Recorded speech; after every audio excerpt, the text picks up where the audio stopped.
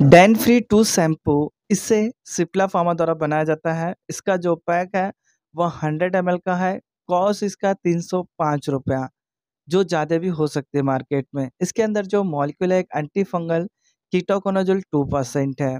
इसका इस्तेमाल डैंड्रफ में किया जाता है सेबरोइक डर्मेटाइटिस में किया जाता है। और जैसे कि आपके बालों में जब रूसी रहती है, तब किया जाता है। ये बहुत बेस्ट रिज़ल्ट देता है। इसके अंदर जो एंटी फंगल होने की वजह से जो मॉलिक्यूल है कीटाकोनाजोल ये फंगाई को किल करता है। तो अब बात करते हैं इसका यूज़ करने का सही तरीका।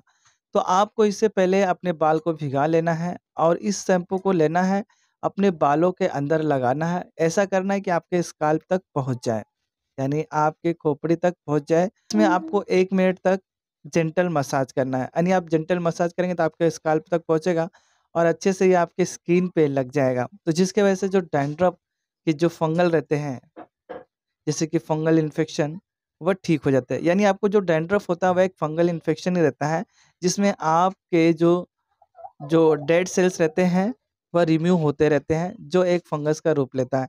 यह इसलिए होता है क्योंकि आप हमेशा बाल गीला रखते हैं, आपको बाल में पसीना रहता है, यानी स्काल्प में, और वो सूखने में ज़्यादा जो कि तकलीफ़ देता है। यानी जैसे कि आप डायरेक्ट बाल सुखाए नहीं और डायरेक्ट बाहर निकल जाते हैं उसमें ऑयलिंग कर लेते हैं तो डेंड्रफ होने के चांसेस बढ़ जाते हैं। या काफ़ी दिन तक अपने बाल को अगर आप साफ़ नहीं करते तो ये डेंड्रफ होने के चांसेस रहते हैं। तो इसलिए इसका जो उपयोग है, वीक में ट्वाइस है, आपको इसे पहले फोर वीक तक इस्तेमाल करना है, जिसमें आपको काफ़ी कंट्रोल हुआ देखा जाएगा आपका जो जो डैंड्रफ है वो काफ़ी कंट्रोल हो जाता है।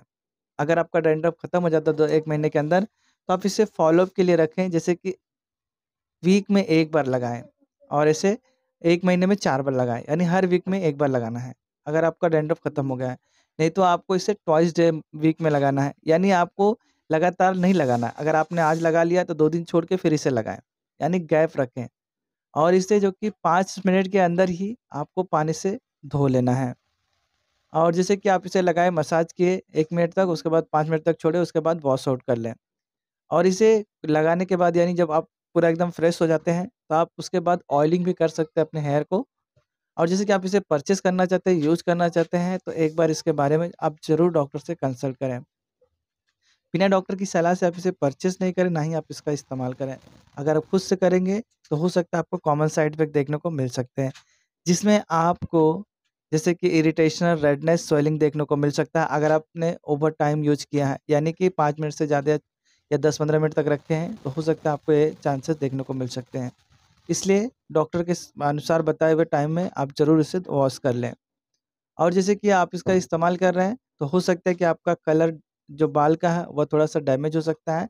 या जैसे आपने अभी बाल को स्ट्रेटनिंग करवाया है तो भी डैमेज हो सकता है और आपका बाल जो है काफ़ी कड़क रूखापन हो सकता है। इसलिए इसे करने के बाद, जैसे शैम्पू हो गया आपको तो आप उसके एक डेढ़ घंटे के बाद जब बाल सूख जाता है, तब उसे ऑयलिंग भी कर सकते हैं। तो अगर आप इसे ले रहे हैं तो डॉक्टर से कंसल्ट करें। अगर आप वीडियो चैनल पर पहली बार विज़िट किए हैं, वीडियो आपको इन्फॉर्मेटिव लगी है तो एक लाइक कर दीजिएगा। और जैसे कि, जिसकी मुझे बहुत ज़्यादा ज़रूरत आपकी सपोर्ट की तो चैनल को सब्सक्राइब कर लीजिएगा, जिससे आपको नेक्स्ट वीडियो का नोटिफिकेशन मिलता रहेगा और आप अपडेटेड होते रहेंगे। और जैसे कि आपका डाउट है, डायरेक्ट वीडियो के नीचे पूछ सकते हैं, फिर मिलता है नेक्स्ट वीडियो में।